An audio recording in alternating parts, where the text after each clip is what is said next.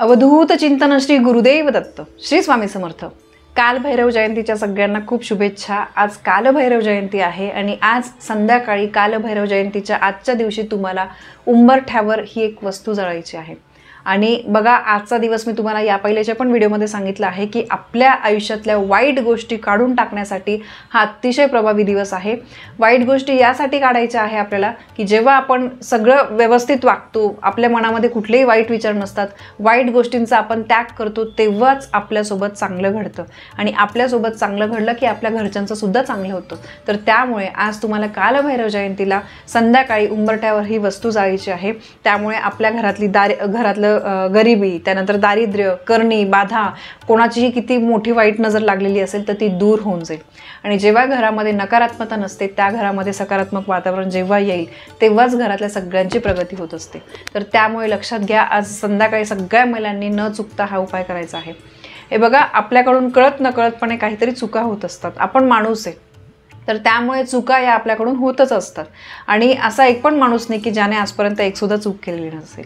तर त्यामुळे बघा जर आपल्याकडून काही कळत नकळतपणे झालेल्या चुका असतील त्यानंतर समजा आपण काहीतरी कधीतरी गणपती बाप्पांना देवीला कुठेतरी काहीतरी नवस करतो काहीतरी बोलतो की मी असं झाल्यावर असं करेल हे करेल किंवा आपले जे वरिष्ठ आहे आपले आई वडील सासू सासरे काहीतरी त्यांनी नवस केलेला असतो. आणि त्यामुळे कधी कधी तो नवस आपल्याकडून फेडला जात नाही. आपण विसरून जातो किंवा कधीतरी ते काम झाल्यावर आपण त्या गोष्टीला महत्त्व देत नाही. जाऊ दे काही करायची गरज नाही. किंवा मग विसरूनच जातो तो नवस फेडायचा. तर त्यामुळे सुद्धा देवी देवता नाराज होतात. त्यांचा आपल्यावर कोप होतो. त्यानंतर नजर दोष वाईट शक्ती अशा वाईट प्रकारच्या नकारात्मक गोष्टी. आणि ज्या काही आपल्याकडून चुका झालेल्या आहे आपल्या आयुष्यामध्ये ज्या काही आपण चुका केलेल्या आहेत त्यांचं प्रायश्चित्त म्हणून तुम्हाला आजच्या दिवशी कालभैरवनाथांची सेवा करायची असते. कालभैरवनाथांचं मानसन्मान करायचा असतो. त्यांना नारळ खडीसाखर वाहून मानसन्मान करायचा असतो. कालभैरव अष्टकाचा पाठ करायचा असतो. आणि यासोबतच मी सांगितलेले तुम्हाला उपायसुद्धा तुम्ही नक्की करा. कालच्या परवाच्या व्हिडिओमध्ये मी तुम्हाला उपायसुद्धा सांगितलेले आहे अगदी सोपे सोपे हे उपाय आहे पण न चुकता करा. आणि त्यासोबतच आज तुम्हाला उंबरठ्यावर संध्याकाळी एक वस्तू जळायची आहे. हा अतिशय प्रभावी तोडगा तुम्हाला करायचा आहे. खूप सोपा पण अतिशय प्रभावी हा तोडगा आहे. बघा कालभैरवनाथ जे आहे ते अतिशय क्रोधित देवता आहे. महा महादेवांचं ते एक रूप मानलं जातं. आणि बघा ते आपल्या जे मनापासून त्यांची भक्ती करतं ना तर त्यांना ते अतिशय लवकर प्रसन्न होत असतात. त्यांना आशीर्वाद देत असतात. म्हणजे दु दुष्कृत्य करणाऱ्यांना वाईट वागणाऱ्यांना कालभैरवनाथ हे शिक्षा देतात दंड देतात. आणि जे चांगले मनापासून सेवा करतात तर त्यांना ते भरभरून त्यांच्या आयुष्यामध्ये सुख देत असतात. आणि कालभैरवनाथांची जर आपण सेवा केली तर आपल्याला आयुष्यामध्ये कुठल्याही गोष्टीची भीती राहत नाही. अपमृत्यूची जी भीती आहे ती सुद्धा आपल्याला राहत नाही. तर त्यामुळे कालभैरवनाथांची पूजा केल्यामुळे आपल्या आयुष्यातल्या नकारात्मक गोष्टी निगेटिव्हिटी जाण्यासाठी खूप मदत होत असते.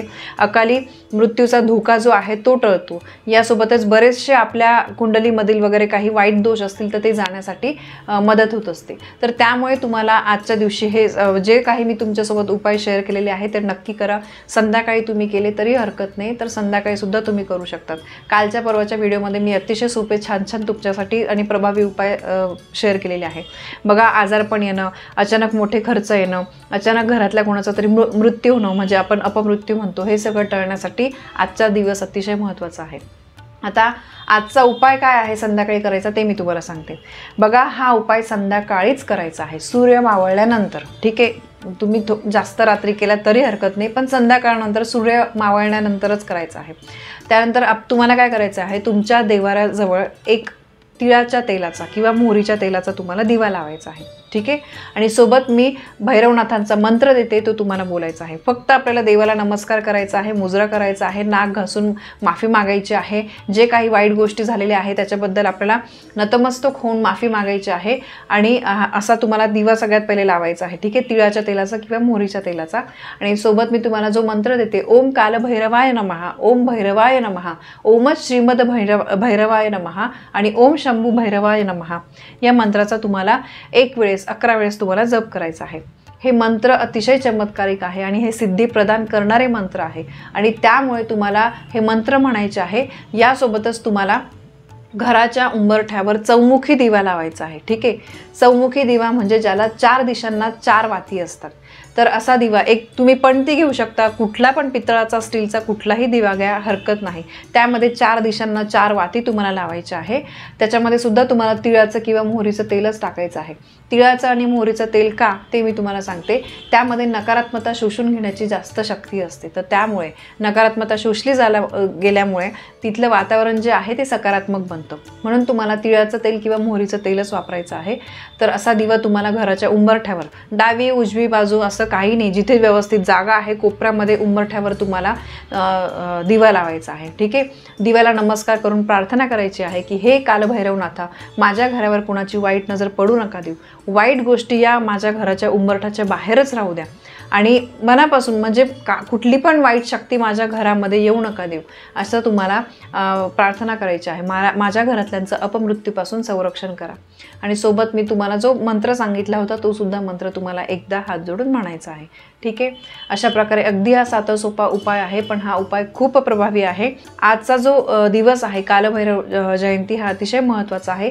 आणि संध्याकाळी तुम्ही कालभैरवाष्टक यूट्यूबवर लावा हरकत नाही. पण तुम्हाला एकदा तरी कालभैरवाष्टक व्यवस्थित शांत बसून ऐकायचं आहे. अगदी पाच मिनटं लागतील तुम्हाला कालभैरवाष्टक ऐकायला. तर त्यामुळे नक्की या गोष्टी करा तुम्ही. दिवस प्रभावी आहे त्यामुळे तो आपल्याला वाया नाही जाऊ द्यायचा आहे. ठीक आहे? तर ही एक अतिशय महत्त्वाची माहिती मला तुमच्यापर्यंत पोचवायची होती. माहिती आवडली असेल व्हिडिओला लाईक करा शेअर करा कमेंट करा. पुन्हा भेटूया अशा एका नवीन माहितीसोबत. तोपर्यंत श्री स्वामी समर्थ.